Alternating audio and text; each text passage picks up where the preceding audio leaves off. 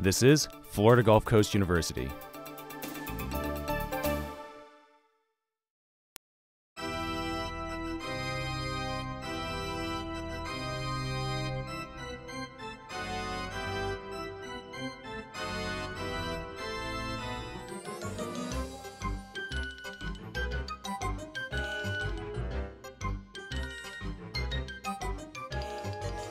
Is an exhibit of 3D pumpkin carving. This exhibit in particular is created by Sculpture One students. Gourd carving is a very traditional art that goes back to early Americas. I'm Tori Carino. I'm a freshman at FGCU. I'm in Mary's class for sculpture.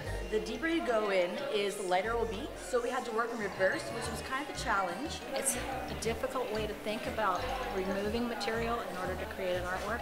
This is my best friend, and I wanted to honor her by carving her face in a pumpkin. They choose an image and break it down to three color scales. My name is Matt Gemmel. Um, I did uh, Nikola Tesla.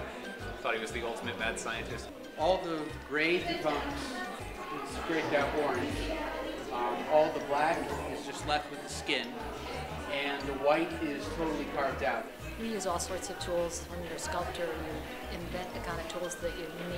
The skin of these pumpkins is so thick, you have to have a good amount scraped off, not only on the front but on the inside, or else the glow doesn't come through. The sculpture class, we do woodworking, we work in metal. This is my pumpkin. It's actually my dog, Galileo.